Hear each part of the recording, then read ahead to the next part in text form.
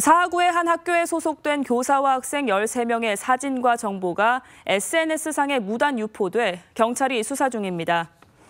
사경찰서는 해당 학교로부터 SNS에 피해자들의 이름과 나이, 키와 몸무게 등 신체 정보와 사진이 동의 없이 게재됐다며 수사 의뢰를 받았다고 밝혔습니다.